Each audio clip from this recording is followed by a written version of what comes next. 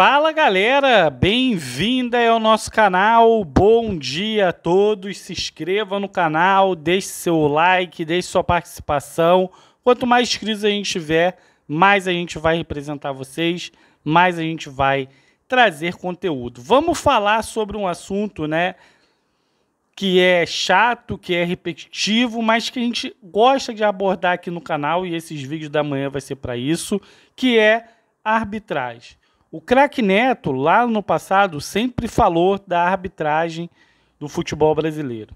E aí, quando a gente vai para a arbitragem do futebol carioca, a gente vai ficar muito mais preocupado.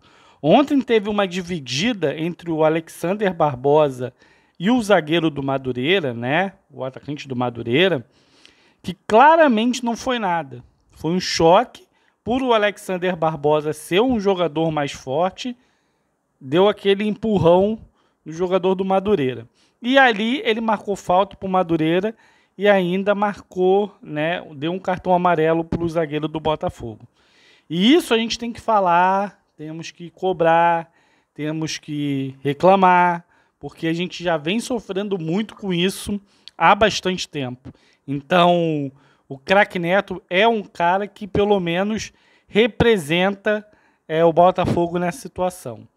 É, a gente já falou sobre o jogo, a gente já falou sobre a torcida e a gente sempre vai representar aqui o Botafogo, sempre vai é, colocar aqui os pontos do botafoguense, né?